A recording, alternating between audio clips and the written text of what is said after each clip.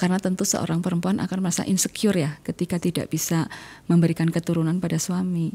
Tapi jawaban Mas Ganjar sangat melegakan karena Mas Ganjar bilang uh. ya mungkin Mas Ganjar juga merasa itu bagian dari privasi saya mungkin Mas, uh. Mas Ganjar menganggap seperti itu. Tapi saya tidak merasa itu privasi karena itu memang kondisi saya.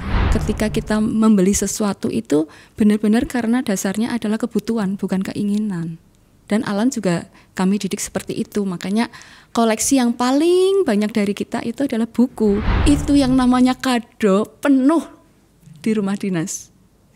Kado banyak sekali. Ada yang memberi ini langsung dikembalikan semuanya. Jadi ada yang uh, Mas Ganjar langsung panggil satu-satu ini tidak boleh lagi seperti ini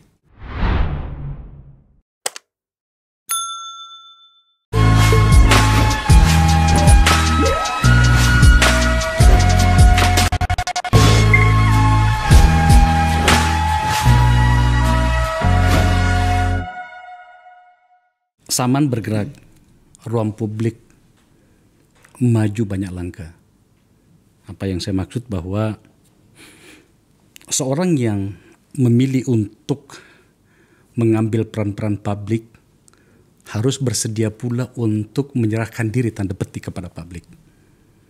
Hal-hal yang berhubungan dengan uh, keluarga, siapa istrinya, anaknya, itu di masa-masa yang lalu kita masih bisa menyembunyikannya. Sekarang tidak bisa lagi. Saya juga mengalami hal yang sama. Tapi hari ini kan saya adalah hostnya. Saya kedatangan tamu istimewa. Ibu Atika Suprianti. Kita kenal dengan Ibu Atika. Istri dari calon Presiden Republik Indonesia, Mas Ganjar Pranowo. Yang berarti uh, Ibu Atika juga adalah calon ibu negara. Seperti itu seharusnya kita berpikir. Mbak Tika, makasih ya. Ya terima kasih Bang. Sehat ya Bang ya. Sehat. Di banyak tahun yang lalu ya. kita bertemu sebagai sesama wartawan. Pemirsa rahasia antara kita. Beliau dulu wartawan hingga kemudian kalau Anda lihat begitu fleksibel hari ini itu karena tempaan masa lalu. Uh, Mbak Atiko. Ya, Bang. Um, ini podcast politik. Oke. Okay. Tapi jangan langsung panas dulu ya. Yeah. Kita mulai dulu dari yang santai-santai. Yeah. Aku kagum pada anak jenengan. Oh. Sudah datang ke tempat ini. Oh iya iya. Sudah duduk ya, di sini. Ya, betul. Jawabannya um, membuat saya jadi uh, banyak bertanya. Anak ini dididik seperti apa? Apa yang saya maksud? Saya tidak sedang memuji, yeah. karena saya cukup kejam juga ketika mengkritik. Tapi menurut saya um, diksinya, pilihan katanya berikut dengan kemampuannya untuk melihat problem hingga kemudian menyampaikannya itu matang. Pertanyaan saya pada bagian ini, ini alam dididik seperti apa, Mbak? Jadi uh, dari kecil memang kita biasakan alam itu juga uh, bisa menyampaikan pendapat ya. Dari TK itu kita selalu ajak diskusi uh, sesuatu yang berhubungan dengan dia itu bukan hanya ditentukan oleh kami. Hmm. Misalnya mencari sekolah, kemudian mencari baju, itu preferensinya dia boleh memilih, tetapi nanti keputusannya kita ini bersama, kita diskusikan bersama. Jadi ketika termasuk juga misalnya kita jalan mau makan apa, itu juga dia harus punya pendapat, tidak boleh terserah. Itu tidak ada dalam kamus di kami. Sehingga ketika keputusan itu sudah diambil, dia juga akan bertanggung jawab dan menghargai apa pun keputusan itu. Itu, Bang. Dan teknik komunikasi yang kami terapkan berusaha semaksimal mungkin untuk teknik komunikasi yang positif. Jadi tidak menghakimi, tetapi kita mendengarkan sehingga dia merasa terapresiat juga karena setiap pendapat dia itu orang tuanya dengarkan. Kemudian mungkin berpikir kritisnya itu karena juga banyak ngobrol dengan bapaknya. Di, uh, di kami itu juga ada father and son time. Jadi apa waktu antara bapak dan anak yang secara kuantitatif dan kualitatif itu bisa tercapai. Karena kalau kuantitatif saja memang agak sulit karena Mas Ganjar itu sangat sibuk, akhirnya kita lebih fokus ke kualitatifnya. Jadi berkualitas mungkin kadang mereka berdua mainan atau nonton film yang tidak ada kami, tidak ada saya. Nah, di situ nanti akan diskusi segala hal termasuk sampai uh, alam berusia dewasa, hal-hal yang tough, hal-hal yang mungkin bagi orang lain berat mereka diskusikan juga. Saya melemparkan beberapa pertanyaan jebakan kepada dia. ya kan, tapi tampaknya saya lihat senyum-senyumnya dia mengatakan gini. Om Akbar nggak bisa kamu jebak aku gitu kan. dan itu yang saya saya dapatkan maka uh, para pemirsa anda bisa menonton bagaimana tayangan alam Ganjar di tempat saya dan mungkin ini bang dari SD dia memang kan sering ikut lomba ya kemudian begitu SMP lomba sains lah atau apa pun yang dia itu juga harus presentasi di depan publik kadang-kadang ketika yang internasional juga presentasinya bahasa Inggris dan yang menguji itu banyak profesor. Jadi mungkin dari situ dia terbiasa untuk bisa berargumentasi baik berdasarkan sains, data dan bisa uh, fondasinya itu jelas, sistematis itu.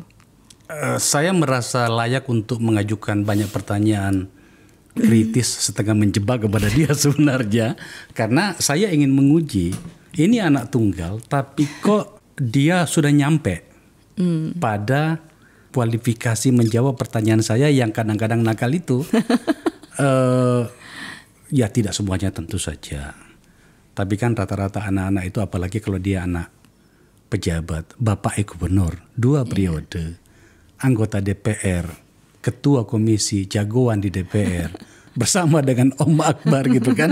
itu biasanya kadang-kadang apa ya. Tapi saya lihat tidak gitu ya. Makanya saya mencoba mengidentifikasi soal itu. Bagian ini Mbak, uh, saya selalu elaborasi di tempat saya. Yeah. Iya. Uh, karena tidak ada tempat untuk basa-basi di tempat saya ini. Yeah. Dan salah satu program kami di sini adalah menemukan anak-anak cemerlang untuk Indonesia masa depan. Yang dimulai tentu saja dari seberapa kuat dia membahasakan pikirannya. Yeah. Selanjutnya adalah seberapa kokoh dia mempertahankan sikapnya di hadapan negaranya. Dan saya menemukannya bukan karena anaknya Mas Ganjar dan kasih, anaknya Mbak Tiko ya, tetapi saya memasukkan kami di sini memasukkan alam sebagai salah satu anak yang uh, kami harus pantau dari jauh untuk masa depan. Terima kasih, Bang. Uh, begitu program kami di sini. Ya. Saya menemukan supaya para penonton tidak beranggapan ah Bang Akbar Faisal ini apa namanya muji-muji berlebihan. Enggak, saya menemukan ada namanya Gilbran. Saya menemukan ada namanya uh, Seno. Saya menemukan ada namanya Melki. Setidaknya di sini kami sudah menemukan enam orang. Itu tanggung jawab moral kami di sini. Yeah. Berkaitan dengan itu, cuma tunggal ya. Tunggal. Memang saya ada masalah di uh, reproduksi saya ya di di rahim saya lah itu seperti itu. Jadi itu mukjizat hmm. itu udah berkah luar biasa mendapatkan satu amanah dari yang maha kuasa. Seperti apa ceritanya mbak? Jadi uh, memang ada kista yang cukup besar sehingga agak mengganggu ketika proses pembuahan ya dari pertemuan sperma dan ovarium itu. Hmm. Kemudian sampai eh, dua tahun, hampir dua tahun saya nggak hamil-hamil. Menikah tahun 99. Ya, hampir satu setengah tahunan lah saya nggak hamil-hamil sampai pada saya sudah curhat ke Mas Ganjar kalau sampai nggak dapat keturunan bagaimana karena tentu seorang perempuan akan merasa insecure ya ketika tidak bisa memberikan keturunan pada suami tapi jawaban Mas Ganjar sangat melegakan karena Mas Ganjar bilang uh, kebahagiaan kita itu tidak hanya ditentukan kita mendapatkan keturunan apa tidak.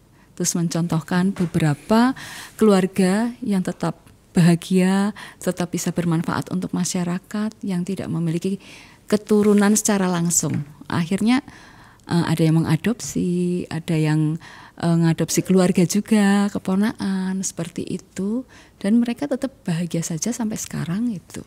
Jadi itu yang membuat saya merasa diterima apa adanya as a whole sebagai seorang istri, sebagai seorang pasangan. Eh malah beberapa bulan kemudian alhamdulillah hamil itu. Dan nggak KB sampai sekarang pun ya sudah stop uh, ketika alam lahir kistanya juga diambil ovarium saya juga diangkat. Itu itu ceritanya. Oh. Oh jadi alam memang ternyata sangat mahal. Iya iya. Iya dan um, jujur saya agak kaget mendengar karena nggak pernah saya baca ini. Iya. nggak pernah saya dengarkan cerita ini. Ya mungkin Mas Ganjar juga merasa itu bagian dari privasi saya. Mungkin Mas, Mas Ganjar menganggap seperti itu. Tapi saya tidak merasa itu privasi karena itu memang kondisi saya itu Wis, Mas Ganjar luar biasa gitu kan. Oke dan kemudian uh, alam lahir um, kalau saya nggak salah kan Mbak Atika kan selesai uh, sosek ya Oh, enggak, teknologi Oh, pertanian. teknologi pertanian di UGM Iya. terus sempat kuliah di ITB satu Iya. setengah tahun Iya. ngambil plan planologi. Ya, perencanaan wilayah dan kota. Tapi kok lanjutnya di Jepang itu malah jurusannya lain. Iya, itu kebijakan publik di Jepang itu kebijakan publik. Jadi itu program sandwich eh, satu tahun di Indonesia, satu tahun di Oke. Jepang. Di ya. Jepangnya di mana? Di Graduate Institute of Public Policy Program di Tokyo. Tokyo ya. Iya. Dan selesai itu. Selesai. Kalau nggak selesai harus kembaliin uangnya. Oh beasiswa ya? Iya. Beasiswa, beasiswa Bapenas kalau nggak salah ya. Iya. Terus kemudian pulang. Ya pulang. Waktu itu alam Alam masih TK. Jadi Dan- waktu mau berangkat ke Jepang sebenarnya saya mau mengundurkan diri, mau mengundurkan diri karena kasihan Alam masih kecil gitu ya. Tapi malah nggak boleh sama Mas Ganjar.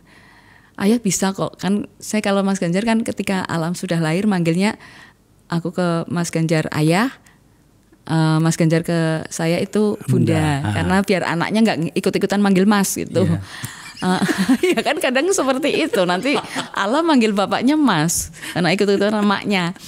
Eh, ayah bisa kok menjadi single parent gitu. Apa sih apa tanggung jawab seorang ibu bisa dia handle itu kan juga cuma sebentar. Jadi itu yang membuat saya jadi termotivasi ya. Ya, saya sudah diberikan ruang yang luar biasa oleh Mas Ganjar untuk bisa mengimprove, untuk bisa eh, meningkatkan kapasitas kapasitas saya dan juga di situlah titik kebahagiaan seorang perempuan ketika kita melakukan sesuatu dan disupport oleh orang-orang yang kita sayangi. dan Mas Ganjar menjadi single parent. Iya, single parent, ngurusi ompolnya alam, ngurusi mandinya alam dan semuanya ngantar ke sekolah sampai pernah itu ditanya sebetulnya ibunya kerjaannya apa sih? So, Mas Ganjar kan anggota DPR. Jadi untungnya kalau anggota DPR kan eh, jam 8 kalau mulai rapat ya.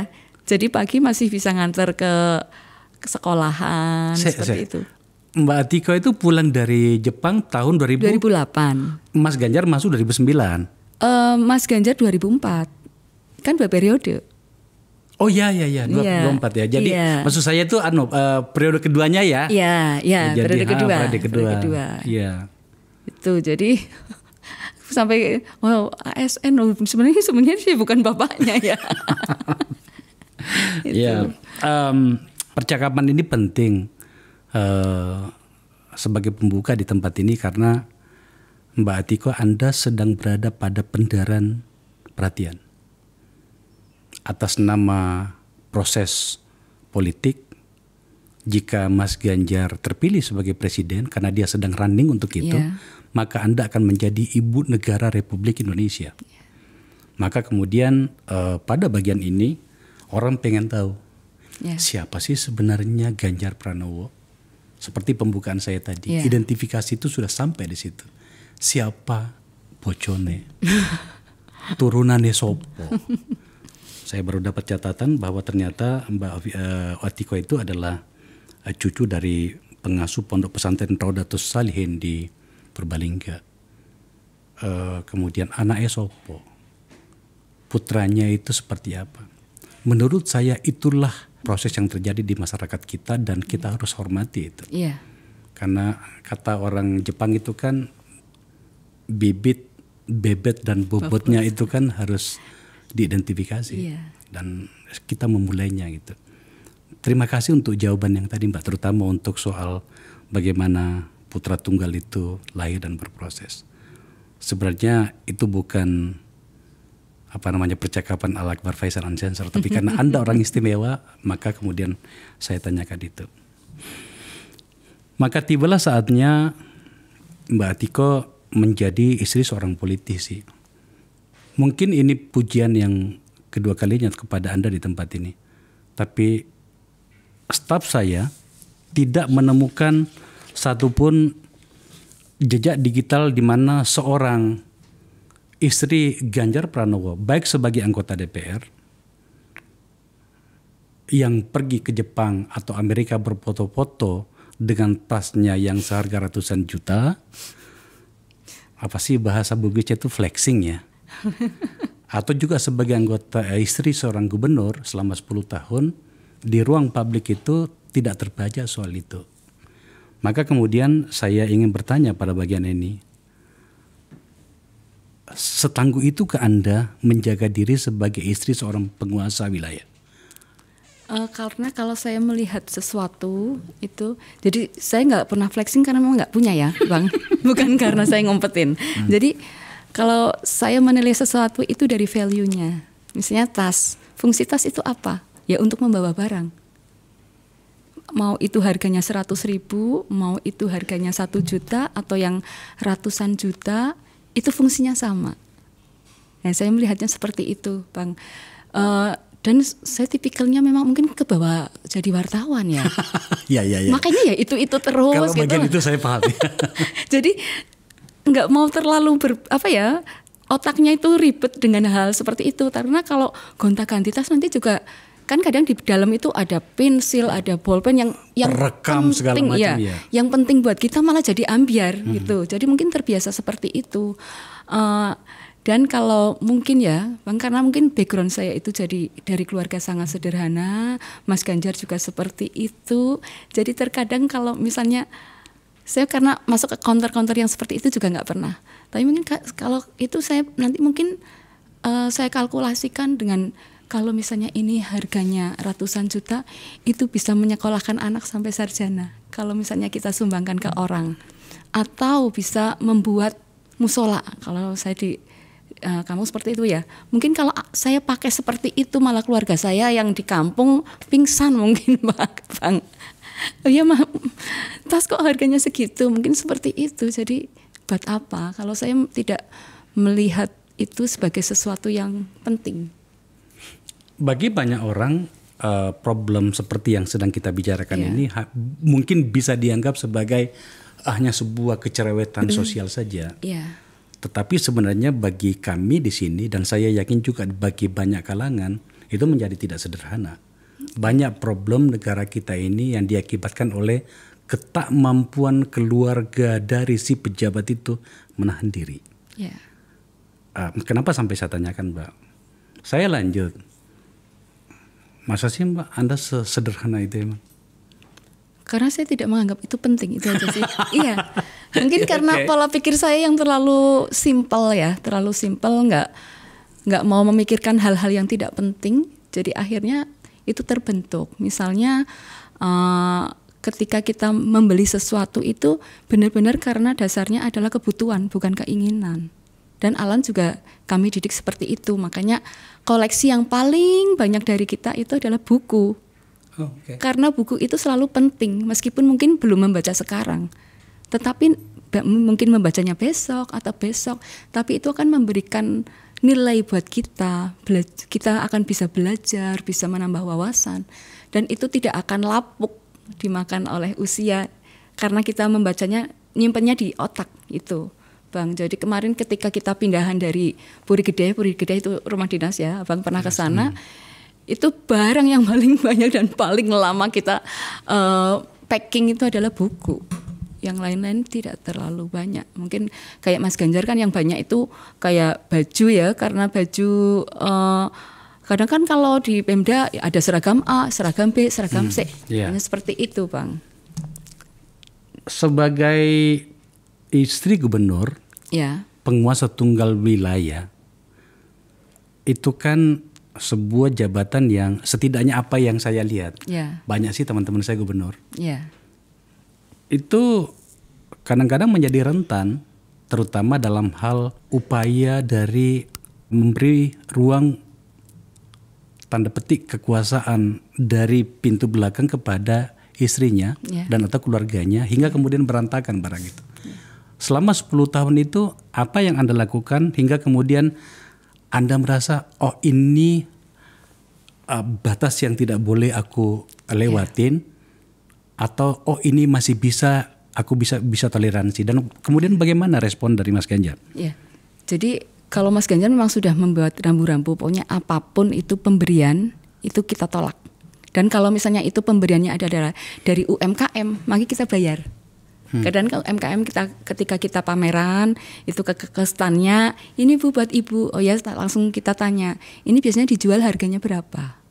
langsung kita bayar. Itu adalah yang pertama kita sekaligus uh, mempromosikan produk mereka, yang kedua mengedukasi juga masyarakat bahwa kita tidak menerima gratifikasi. Dan agar saya lebih paham apa itu gratifikasi, apa itu suap, saya juga ikut dalam uh, sosialisasi untuk per, saya perempuan anti korupsi. Saya ikut full selama tiga hari sehingga saya paham rambu-rambunya. Jangan sampai karena kita tidak paham kita uh, membuka pintu belakang yang seharusnya itu tidak boleh itu jadi memang benar-benar ketika mungkin kadang orang menganggap kami kaku kaku sekali sih masa dikasih seperti anda tidak mau ketika Mas Ganjar kita kan eh, Mas Ganjar uh, yang periode pertama itu dilantik bulan Agustus ya kalau nggak salah Agustus atau September Uh, September Oktober tanggal 1. oh Oktober tanggal oh, malah lebih Iya. awal masih masih ingat, masih ingat. jadi tanggal 28 kan Mas Ganjar ulang tahun Iya. itu yang namanya kado penuh di rumah dinas. Kado banyak sekali ada yang memberi ini langsung dikembalikan semuanya. Jadi ada yang eh, Mas Ganjar langsung panggil satu-satu. Ini tidak boleh lagi seperti ini. Kembalikan semua ke yang bersangkutan yang memberi. Begitu tahun berikutnya sudah nggak ada yang berani ngasih. Jadi memang itu bagian dari edukasi kita kepada masyarakat. Termasuk misalnya saya pergi gitu ya ketika masih di Jawa Tengah, ketika pergi eh ya semuanya harus saya yang nanggung gitu. Kadang kan anak buah, kadang anak buah Mas Ganjar kepengen menservis itu tidak boleh. Saya itu istri bosmu loh, agak sombong sedikit. Saya istri bosmu, jadi seharusnya saya yang eh, apa yang mentraktir. Kalau saya nggak punya uang, ya saya mending tidak makan sekalian atau tidak melakukan aktivitas yang membebani orang lain. Dan itu kan itu anak buahnya Mas Ganjar. Kecuali kalau saya ditraktir orang yang lebih kaya itu nggak apa-apa. Cerita soal bayar membayar dalam kehidupan sosial keluarga pejabat itu sejujurnya itu real adanya, Mbak. Ya, Saya beberapa kali menerima keluhan dari teman-teman pejabat, tidak itu di daerah, termasuk juga di kementerian. Istrinya pergi belanja di Plaza Senayan, telepon pejabat di tempat suaminya, menjabat kau datang ke sini bayar ini ya. Anaknya udah makan di restoran mana, telepon orang dari anak buahnya, bapaknya pergi belayar itu. Banyak yang tahu cerita ini. Makanya kemudian pembicaraan seperti ini orang beranggapan ah kok Akbar Faisal masuk pada wilayah ini enggak ini wilayah etik loh. Kita capres-capres ini berdebat soal etik itu panjang lebar gitu. Maka kemudian ini penting kita bicarakan. Tapi Mbak Atiko 10 tahun loh ya. bukan waktu yang pendek loh menghadapi godaan gitu. Karena saya tidak tergoda dengan hal seperti itu, Bang. Enggak ya? Enggak. Saya merasa eh, apa ya pencapaian ini lebih dari cukup. Saya bisa beribadah dengan tenang, saya bisa mendidik anak, melanjutkan sekolahnya, apa yang saya ya sedikit-sedikit bisa membantu orang yang membutuhkan. Itu kebahagiaan yang real buat saya, bukan dari brand suatu produk atau dari eh, mungkin apa ya keterkenalan sebuah produk. Saya malah nggak terlalu memahami itu, nggak terlalu paham. Misalnya merek ini ini yang lagi populer, saya nggak terlalu paham dan tidak ingin tahu juga.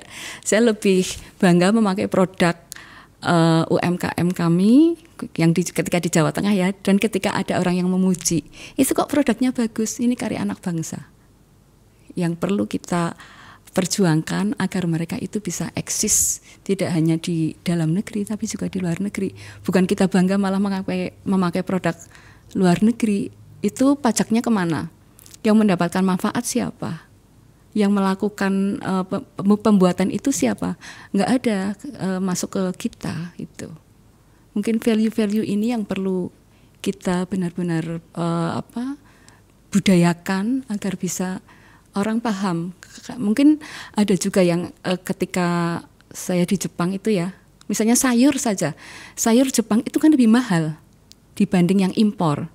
Tapi dan setiap uh, kemasan itu ada ini dari prefecture mana, prefecture mana.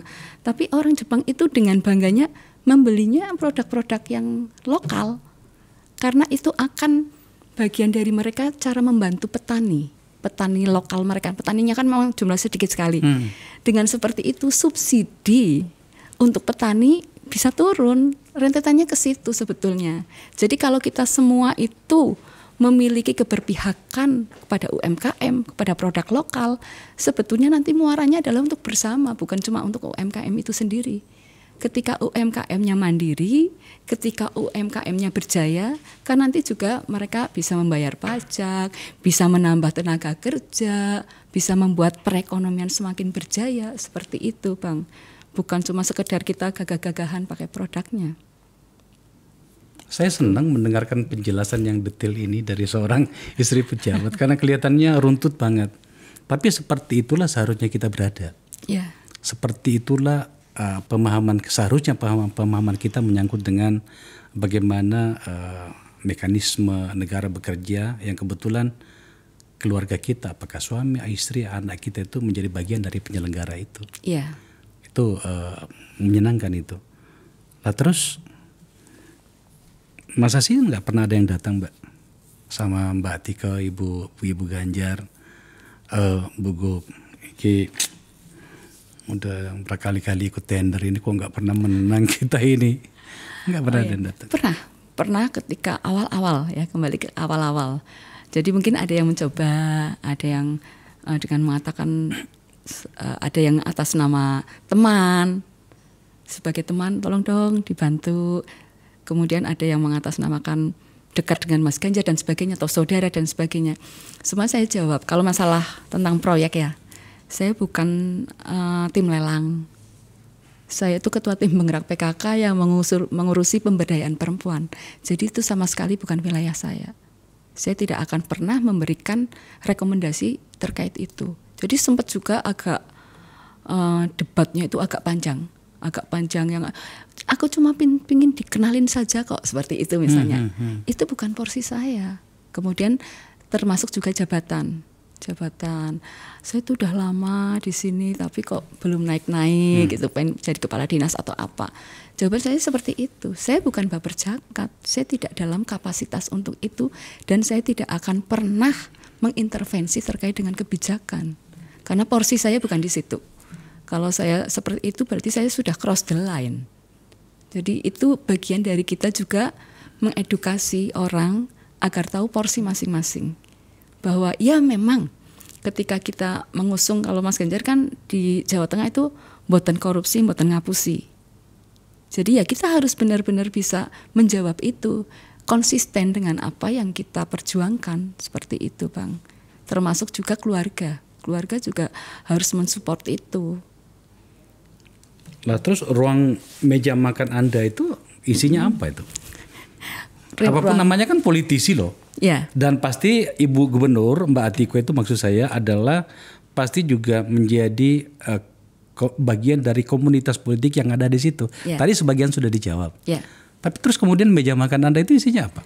Meja makan kami itu memang di mana kita bisa melakukan deep talk bertiga hmm. sama. Jadi alam juga selalu kita ajak ngobrol. Misalnya kalau saya memberikan masukan ke Mas Ganjar itu aspirasi-aspirasi seperti ini loh banyak yang lo tentang PPDB kan ibu-ibu ya mak-mak itu banyak pusing dengan uh, zonasi itu loh zonasi uh, anu, zonasi sekolah ya okay. zonasi sekolah karena menurut saya pribadi itu memang kalau untuk kota-kota kecil masih susah untuk diterapkan kalau di Jakarta dan kota besar mungkin agak cocok ya. Tapi kalau yang jumlah sekolah negerinya cuma dua atau tiga, ini akan sangat rawan itu. Kemudian mungkin terkait misalnya ada uh, untuk penurunan angka kematian ibu di sana aksesibilitasnya susah. Kalau harus rujukannya seperti sakit yang lain, ini kan repot sekali karena melahirkan itu kan nggak bisa ditunda. Nah, itu makanya timbullah nanti jateng gayang ngincang wameteng.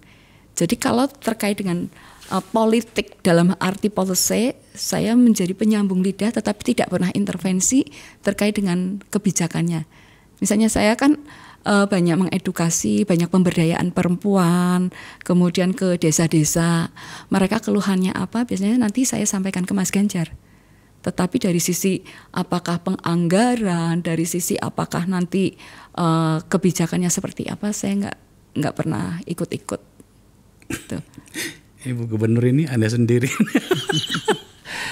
Oke. okay tentu saja kita harus respect pada itu karena apa yang kita lihat itu tidak seperti itu di banyak tempat. Yeah. Tidak semuanya barangkali tapi di banyak tempat yang andilala kok aku ngerti masalah nih akan gitu. Jadi pernah Bang uh, kan kalau kadang uh, misalnya besok ada pelantikan pejabat ya, pejabat eselon 2, eselon hmm. 3 uh, terus saya malah nggak tahu nggak tahu cuma kadang ada yang bilang bu besok ada pelantikan oh iya saya nanya, ya besok ada pelantikan ya? Rahasia. Oh, siapa aja yang dilantik? Rahasia. Ya udah, begitu Mas Ganjar bilang rahasia, saya nggak akan tanya lagi. Jadi saya nggak tahu, nggak tahu besok pelantikan yang dilantik siapa saja. Jadi nggak apa-apa lagi misalnya ada orang yang nitip saya nggak akan bisa nggak akan bisa sampai ke Mas Ganjar karena begitu jawabannya. Jadi memang saya sangat menghargai rahasia jabatan dan rahasia negara. Karena itu bagian dari rahasia jabatan suami. Jadi saya tidak akan nanya baru besok ketika pelantikan baru ada yang bilang bu saya pindah ke sini oh iya yang mungkin biasa uh, berhubungan dengan saya ketika di PKK atau di Dekranasda itu uh, mereka misalnya pindah atau apa pun tahunya belakangan saya tahu belakangan oh itu udah ganti ya oh itu udah ganti ya seperti itu. Ini kayaknya Mas Ganjar sih. Iya. Jadi memang Mbak Tika uh, tahu kan kalau aku sering berkelahi sama Mas Ganjar. Tapi berkelahi yang sehat ya Bang ya. Asik ya Bang. Eh, saya menikmati perdebatan dengan dia itu. Eh, undang-undang ASN dan oh, iya. undang-undang iya. pilkada waktu itu. Oh, undang-undang pilkada. Oh, di itu kita bahas itu, terutama waktu di Ancol itu. Uh, agak keras waktu itu. Nah, terus fraksi Anda mau mengusulkan apa? Ini loh. Wah, kita sudah di balik itu panjok itu sampai malam gitu. Aku ingat. Asik banget. Uh, masih dalam konteks sebagai istri gubernur pada masa itu. Mas Ganjar beberapa kali dihajar. Ya. Ada banyak kasus. Ya. Wadaske opo mene kan. Ya. Dan sudah pernah dijawab di sini. Pada situasi seperti itu, seberapa goyah sih Mas Ganjar ketika dihajar seperti itu? Ya, kalau kasus Wadas itu kan saya juga ngobrol sama Mas Ganjar ya. Kasus Wadas itu sebetulnya Wadas itu kan proyek strategis nasional. PSN itu. Ya. ya. Kemudian uh, sebetulnya yang pertama itu yang ini pabrik semen. Rembang. Rembang. Itu uh, amdalnya ditandatangani Hamin satu Mas Ganjar dilantik. Pening, Jadi, artinya peninggalan gubernur sebelumnya. Iya. Oke. Okay. Nah, terus ketika Mas Ganjar dilantik besoknya ada demo. Hmm. Ya. Tapi itu kan sudah menjadi produk hukum. Ya. Ya. Terus uh, ketika saya ngobrol sama Mas Ganjar gimana? Ya sebagai pimpinan tertinggi saya harus tanggung jawab. Tidak bisa cuma menyalahkan ini bukan produk saya, ini adalah tuh apa warisan itu nggak bisa. Kita harus hadapi. Ya, saya dengan hal seperti itu saya jadi bisa membaca ya, Mas Ganjar orang yang sangat tanggung jawab. Malah saya jadi bangga. Meskipun di demo saya tahu bahwa uh, sebetulnya bukan kebijakannya Mas Ganjar ya, termasuk juga Wadas. Ini adalah proyek strategi nasional. Seorang pimpinan wilayah itu juga harus mengambil alih tanggung jawab itu karena tidak mungkin saling lempar, saling lempar tanggung jawab.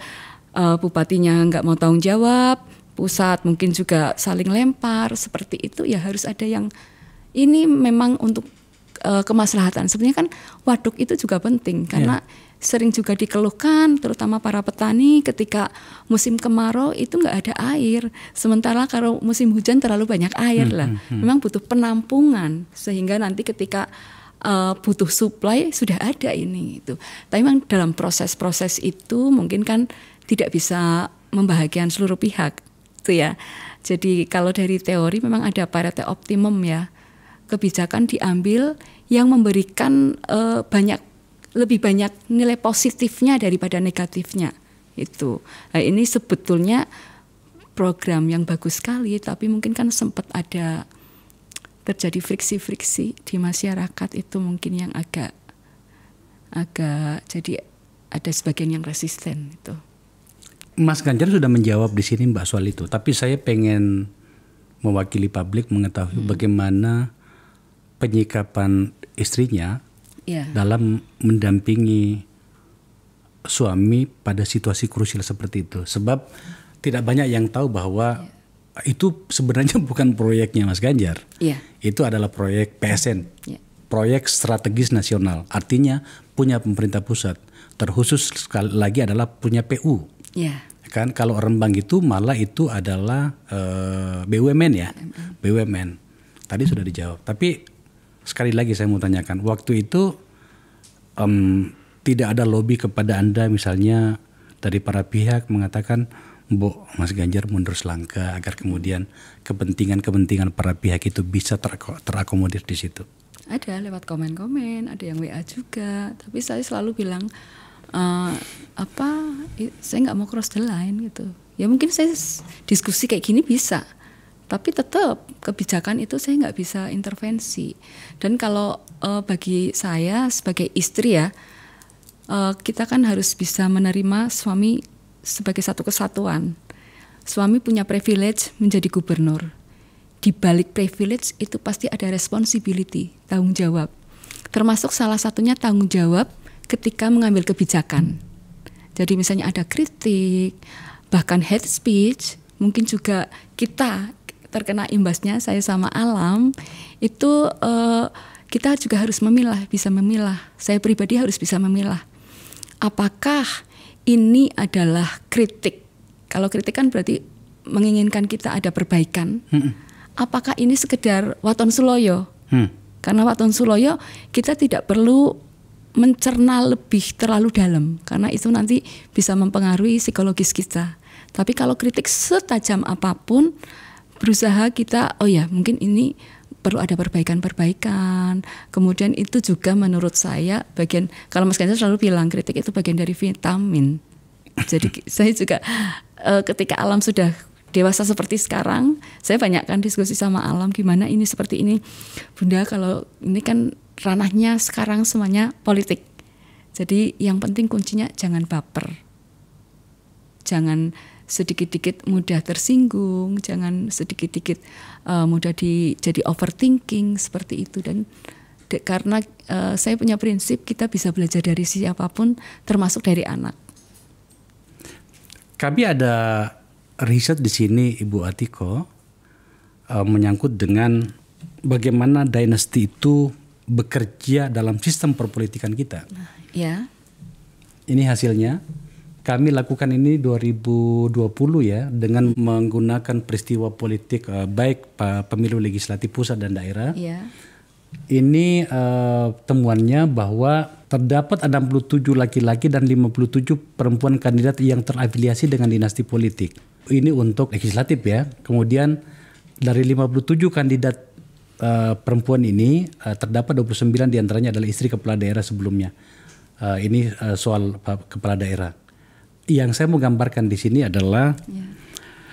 um, tampaknya memang atas nama undang-undang pula andilala celakanya itu kami yang bikin dulu tapi ditolak oleh Mahkamah Konstitusi ada yang memanfaatkan posisi politik keluarganya itu untuk dirinya mm. baik maju sebagai anggota yeah. DPR RI, DPRD mm. maupun DPRD kabupaten dan juga untuk eksekutif. Yeah. Pada bagian ini, sebelum saya maju pada akhir-akhir dari diskusi kita adalah biasanya di beberapa daerah itu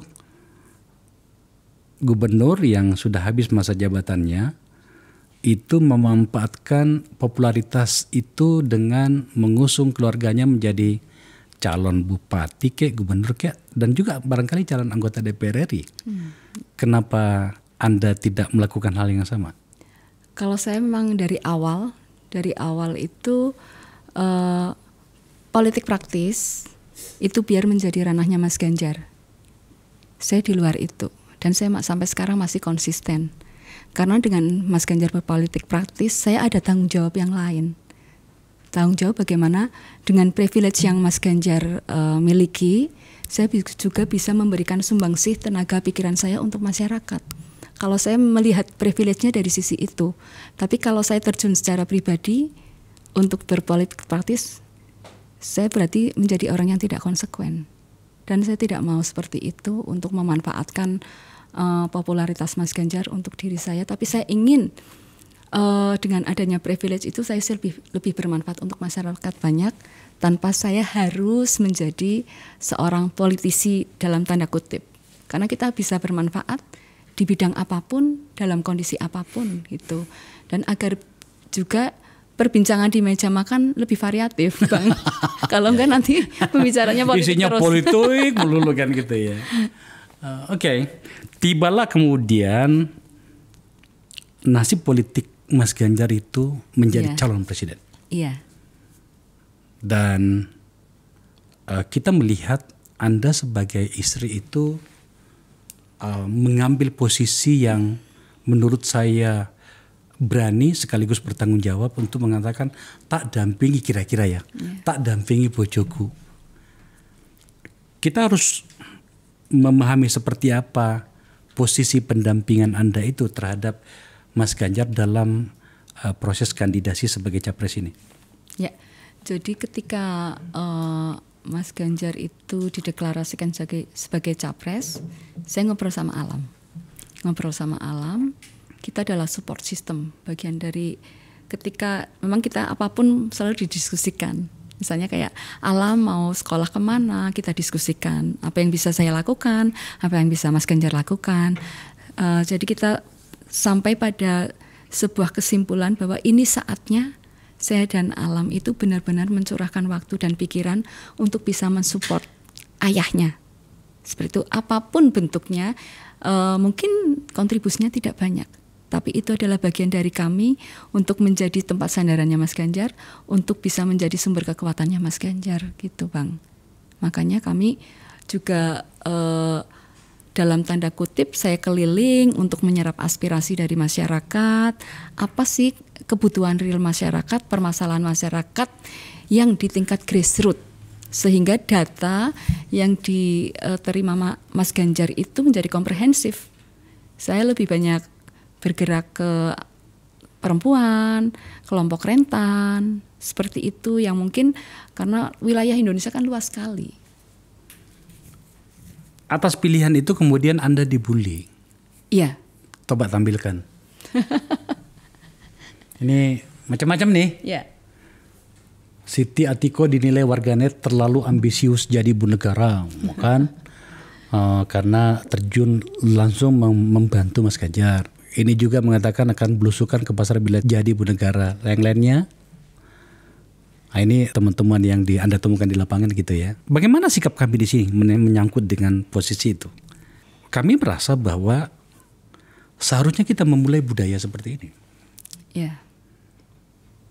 Bagaimana kemudian keluarga memberikan dukungan dan tentu saja dukungan itu bisa diberikan kalau memiliki kapasitas untuk itu setidaknya kalau mau berkampanye itu bisa bicara. Nggak ketakutan di ruang publik. Kan nggak bisa juga memberikan dukungan kalau tidak bisa bicara dan ketakutan di ruang publik kan seperti itu. Atau barangkali tidak memahami problem. Bagi kami seharusnya seperti ini. Memberikan dukungan itu. Maka kemudian saya mengajak Anda untuk bicara soal ini. Sebab kemudian eh, itu hanya koma saja. Saya lebih fokus pada bagaimana kemudian mendekati titiknya. Apa itu? adalah ketika kemudian gawean ini berhasil dan Anda menjadi ibu negara, hmm. kembali lagi ke bagian awal tadi. Yeah. Apakah Anda tidak akan mengganggu negara ini? Meribetkan 275 juta orang rakyat Indonesia dengan ikut campur dalam kekuasaan karena tadi itu memberikan dukungan dan kemudian memahami problem. Pertanyaan pada bagian ini Ibu Atiko, yakinkan kami bahwa Anda tidak melakukan kesalahan itu. Jadi pengalaman saya 10 tahun di uh, Jawa Tengah, saya sudah melakukan uh, proses belusukan dan tanda kutip ke masyarakat. Uh, mungkin karena dulu tidak terlalu ternotis ya. Hmm. Saya juga main sosmed juga setelah pandemi itu. Uh, itu adalah bagian dari tugas saya sebagai seorang istri gubernur untuk bisa memetakan masalah yang ada di masyarakat. Bukan malah menjadi bagian dari masalah saya lebih fokus pada kelompok-kelompok rentan makanya yang mungkin mereka itu selama ini termarginalkan suaranya tidak didengar kurang mendapatkan porsi kurang disetarakan seperti itu. Bukan dari sisi orang-orang yang memiliki kekuasaan tapi justru saya akan fokus di kelompok marginal itu.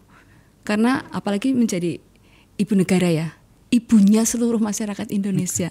Ibu bagaimana sih mereka itu mendengarkan curhat, mereka bisa memberikan kedamaian, memberikan kasih sayang, kemudian mungkin memberikan sedikit petuah atau mencari jalan keluar bersama-sama.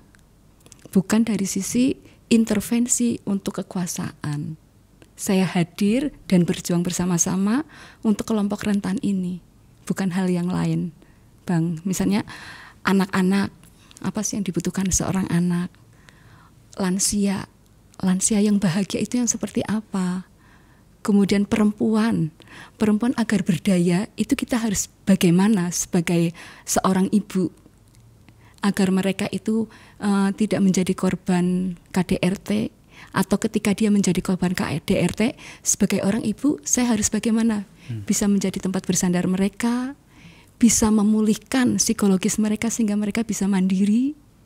Ketika ada difabel yang mereka itu membutuhkan akses sekolah yang berkualitas sebagai seorang ibu saya bisa mengelurkan seperti tangan seperti apa.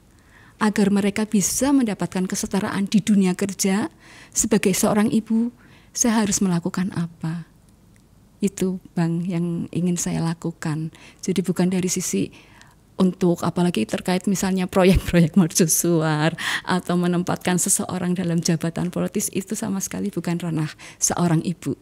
Ranah seorang ibu adalah bisa memberikan kasih sayang, memberikan perhatian, perlindungan untuk anak-anaknya. Uh, kami saya terkhusus eh, respect pada kemampuan Mbak Atika untuk tidak melewati garis batas demarkasi kekuasaan suami yeah. selama jadi gubernur selama 10 tahun. Yeah. Tapi ini beda loh Mbak. Ini ibu negara loh. Sejarah kita mengatakan tidak cukup banyak orang yang mampu bertahan selama itu. Biasanya kan kalau orang presiden pada kita ya, yeah. kalau dia menang pada uh, pilpres, maka dia pasti membayangkan akan dua uh, periode, oke? Okay? Uh, mungkin pada tahun-tahun pertama atau periode pertama masih mampu bertahan. Tapi pada berikutnya sadar bahwa ternyata kekuasaan itu nikmat dan semakin lama dinikmati itu semakin bagus. Sekali lagi saya ingin mewakili pikiran publik di sini. Seberapa kokoh Mbak Tika nantinya menghadapi situasi yang krusial itu? Ya, saya cukup confidence untuk mengatakan bahwa saya orang yang memiliki komitmen. Komitmen. Kemudian uh, saya merasa pencapaian saya itu sudah berhenti apa ya? Saya sudah selesai dengan diri saya. Sehingga inilah waktu yang terbaik untuk bisa bermanfaat untuk masyarakat yang lebih banyak. Jadi kalau terkait dengan godaan-godaan itu pasti nanti mungkin ada tetapi ada invisible hand yang akan mengingatkan. Saya merasa seperti itu. Jadi mungkin lewat teguran dari yang maha kuasa atau lewat diskusi dari sekeliling untuk kita bisa on the track. Karena mungkin uh, bagi saya itu tidak ada resisten terhadap kritik. Itu yang membuat kalau kita mungkin ada hal-hal yang tidak sesuai, nanti kita akan menyadarkan diri sendiri. Tentu saya sekarang tidak bisa berjanji muluk-muluk, tapi saya sangat confident dengan komitmen saya dan dengan konsekuensi saya sebagai istrinya Mas Ganjar. Karena eh, terkait dengan godaan di dunia politik itu juga banyak ke saya hmm. sebelumnya maju ke inilah atau ke itulah tapi saya memang porsi saya di sini dan saya bahagia dengan apa yang saya lakukan. Saya ingin memberikan kebermanfaatan untuk masyarakat banyak. Itu tujuan dari hidup saya sekarang. Karena semua yang kita lakukan itu tidak hanya dipertanggungjawabkan di sini, tapi juga di akhirat. Jadi insya Allah saya berusaha se semampu saya dan mungkin nanti Bang Akbar kalau memang nanti Mas Ganjar diberi amanah bisa langsung mengkritik saya kalau saya tidak dalam rel yang uh, seharusnya yang saya katakan sekarang. Saya pasti melakukannya, Mbak. Ya. Sebab saya mengenal kalian. Ya. Mas Ganjar, Mbak Atiko, Alam sudah saya kenal. Ya. Dan kritik dari orang dekat itu sangat jujur. Ya. Ya. Cuman uh, sebenarnya ini adalah cermin ya. Pembicaraan saya dengan Ibu Atika ini adalah saya berharap ini menjadi cermin bagi diri Mbak Tika sendiri itu sudah menjadi komitmen tapi setidaknya ini kita bisa dilihat oleh banyak orang yeah. bahwa kekuasaan itu seperti seharusnya diperlakukan seperti apa. Yeah. Baik terhadap kita langsung memegangnya atau hanya sekedar yeah. keluarga. Yeah. Maka kemudian saya konsen betul pada bagian ini. Pernahkah Mbak Atika itu marah sama Mas Ganjar dalam hal kebijakan politiknya di mana kemudian anda harus menunjukkan sebuah sikap mengatakan, Mas, enggak, aku enggak setuju dan saya tidak suka. Seperti apakah kalau pernah? Ya, pernah ketika di Jawa Tengah ya. Hmm. Uh, dan kita berargumentasi. Ya, berargumentasi okay. di kalau berargumentasi yang agak ringan-ringan kita di tempat makan. Hmm. Nanti setelah itu kalau misalnya hal yang tidak perlu didengar alam kita di kamar gitu. Tapi uh, biasanya kalau yang terkait dengan kebijakan alam pasti juga mendengarkan nanti dia juga memberikan uh, point of view-nya tetapi setelah dijelaskan Mas Ganjar meskipun terkadang saya masih tetap kekeh dengan pendirian saya tapi saya setidaknya bisa memahami dasar dari kebijakan Mas Ganjar itu apa. Eh, ayah kok ini seperti ini bla bla bla bla misalnya saya gitu. Terus nanti dijelaskan ini loh seperti ini uh, apa dasarnya adalah A B C D E F G impactnya nanti seperti ini dan sebagainya uh, meskipun terkadang kita belum tentu sepaham yeah, okay. tetapi setidaknya saya bisa menghargai uh, proses pengambilan keputusan itu teman saya ini um, kadang-kadang kalau sudah mengambil sikap itu agak kekeh kekeh itu bahasa Indonesia-nya apa ya ya kok kekeh ya kekeh ya kekeh lah gitu hmm. ya uh, itu yang saya lihat. Apakah Anda pernah berpikir dan menyampaikan bahwa sikap itu pada peristiwa politik itu bisa merepotkan dirinya? Ya, memang ada advantages sama disadvantagesnya ya orang yang kekeh. Yang per, uh, apa advantagesnya ya dia akan konsisten ya, konsekuen dengan keputusan yang dia buat, hmm. apa pun resikonya. Ya dia siap menghadapi itu karena itu memang sudah menjadi keputusan politik dia. Iya. Ya, cuma memang dari sisi kelemahannya ada resistensi dari pihak lain kan? itu dia. Ya, itu kan? yang saya maksud. Ya, tidak setiap keputusan yang kita ambil membahagiakan seluruh orang. Nah ini dari ada pro kontra pasti, pasti ada. Tapi nilai positifnya yaitu siap dengan semua resiko yang dia yang harus dia tanggung karena itu memang sudah menjadi keputusan politik. Ya memang seseorang harus punya sikap. Ya. Sebab kalau seorang politisi tidak punya sikap itu saya nggak ngerti apalagi namanya ya, gitu ya. Nanti mudah terombang-ambing. Itu dia.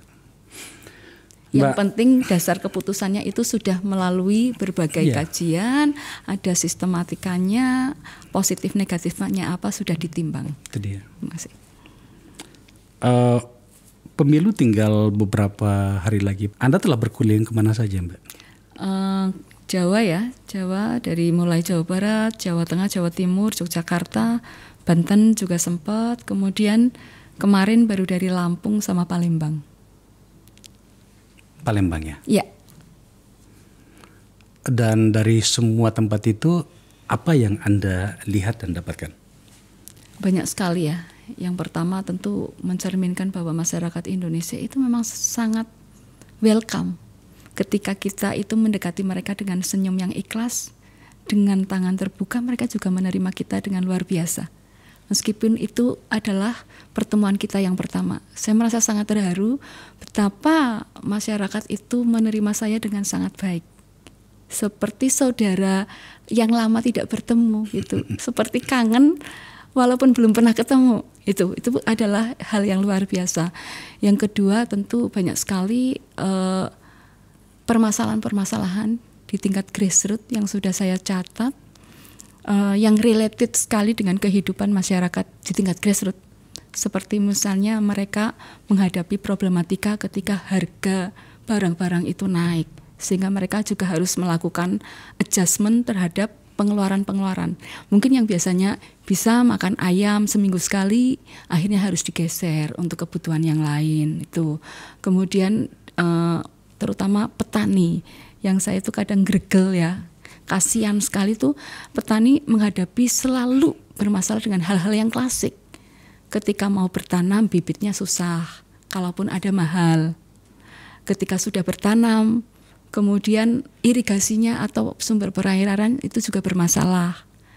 Ketika masanya pemupukan, pupuknya itu sulit sekali untuk didapatkan. Dan ketika panen harganya anjlok. Ini adalah persoalan klasik yang tentu negara harus benar-benar hadir. Karena Pak Karno kan sempat berkata ya, masalah pangan itu ini terkait dengan mati hidupnya sebuah bangsa.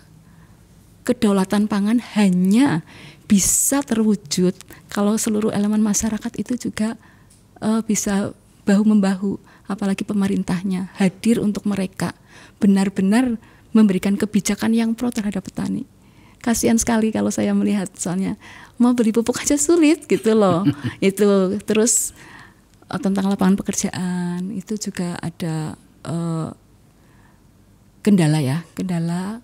Memang kalau anak-anak muda itu juga perlu dibekali dengan kewirausahaan agar tidak hanya mencari pekerjaan hmm. tapi juga mencetak itu. Dan ini tentu di, perlu dibekali juga dengan IT dengan uh, capacity building yang mencukupi dan juga terkait dengan pendidikan.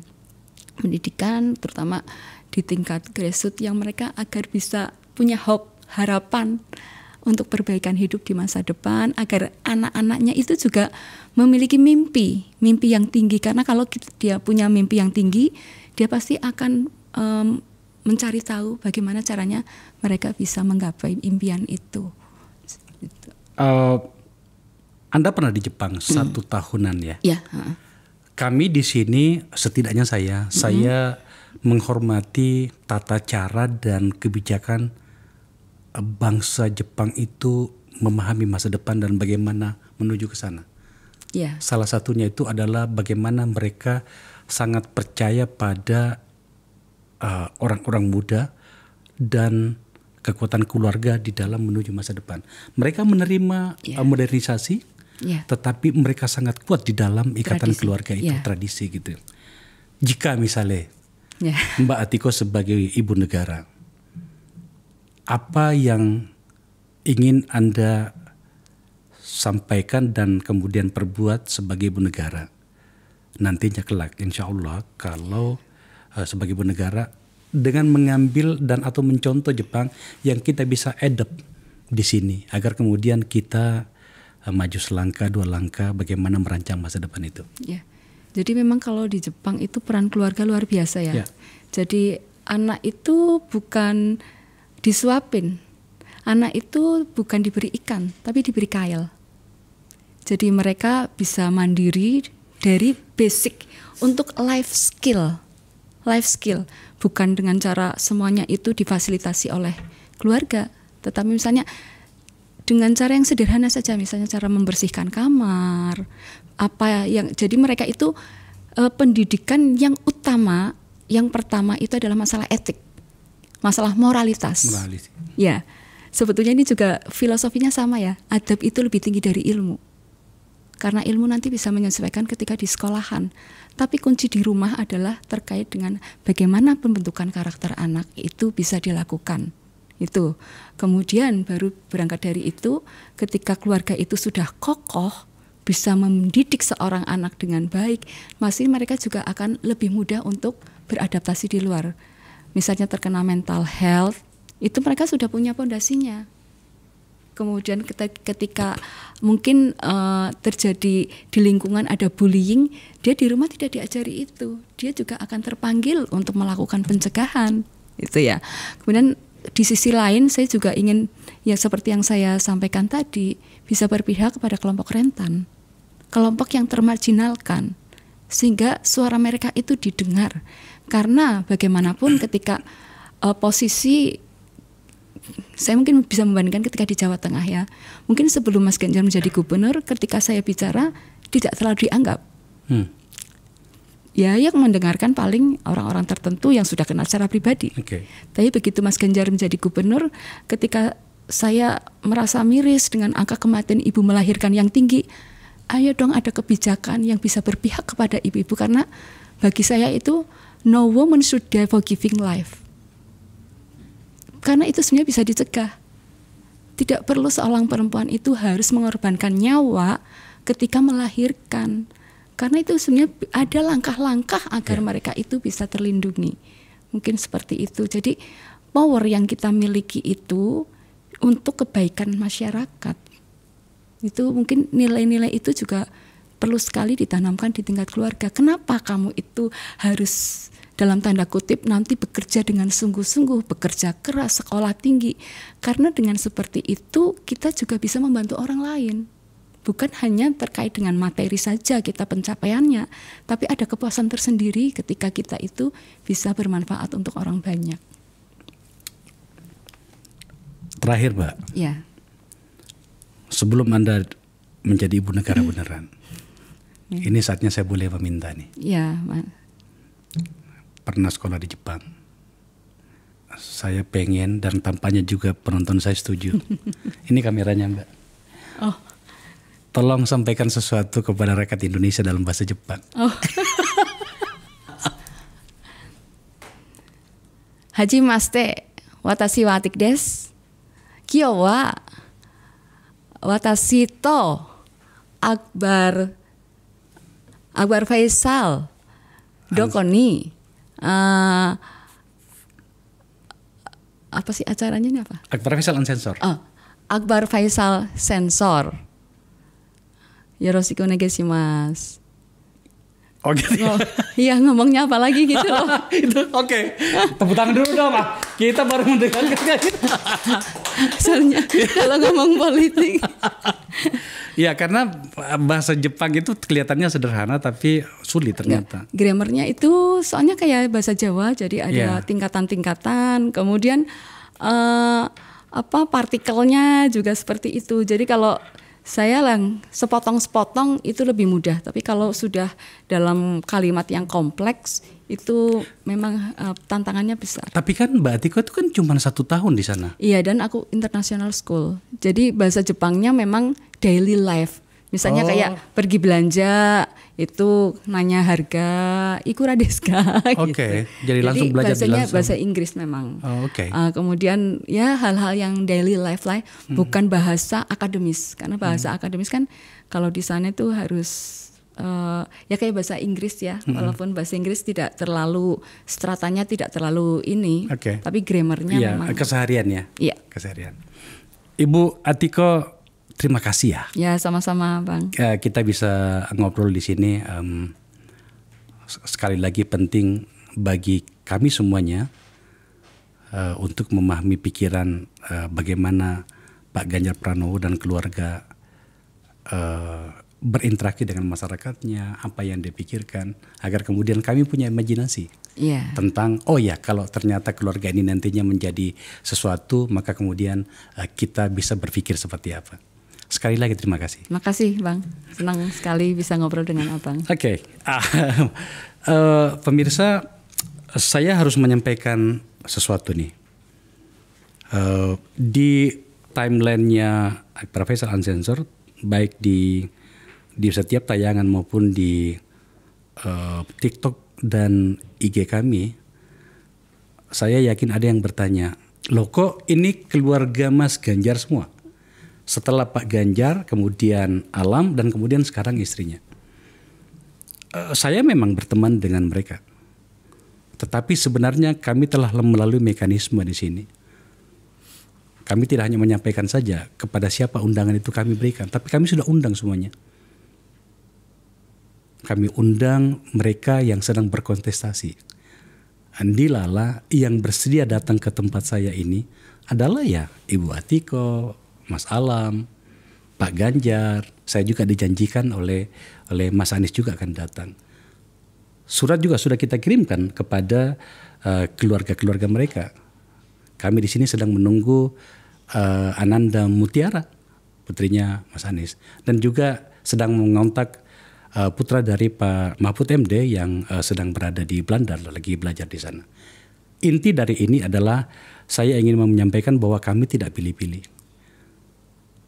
Beginilah kami bekerja di sini, kami ingin uh, menginfluence orang lain untuk berbicara agar kemudian kita tahu cara pandangnya. Tapi yang lebih penting adalah di sini adalah proses bercakap-cakap. Enggak bisa kita saling berkenalan tanpa bercakap-cakap.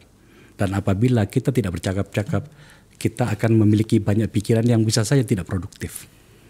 Terima kasih telah menyaksikan acara ini.